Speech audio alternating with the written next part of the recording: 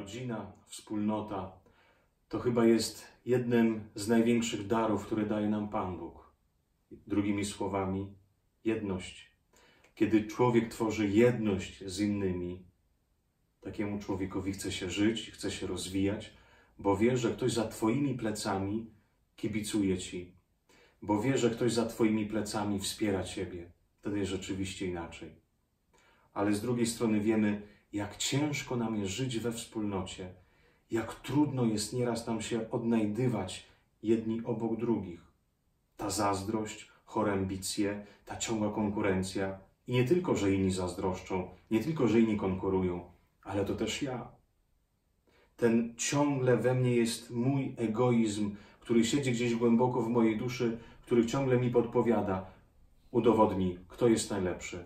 Pokaż, że ty tutaj masz rację. Zacznij się bić o swoje miejsce, o swoje prawa. Wyjdź z tłumu, niech cię zobaczą, niech zaczną ci klaskać, a wtedy poczuję się szczęśliwy.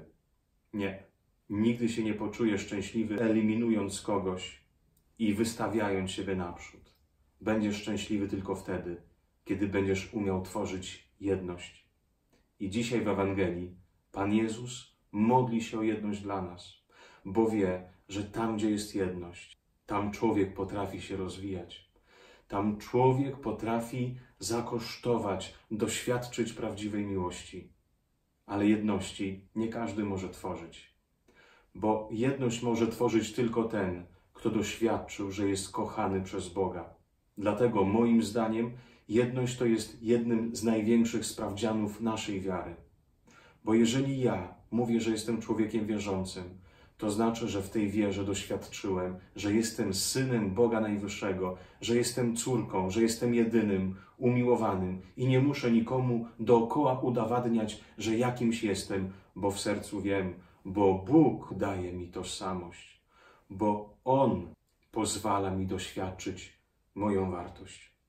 Ten, który wierzy, ten, który doświadczył, że jest kochany, ten, który doświadczył, że ma ojca, że ma tatę, taki nie będzie zazdrościć, taki nie będzie konkurować, taki będzie służyć, taki doceni, taki zrozumie, bo wie swoją wartość, bo wie skąd pochodzi. Kochani, twórzmy jedność w naszych domach.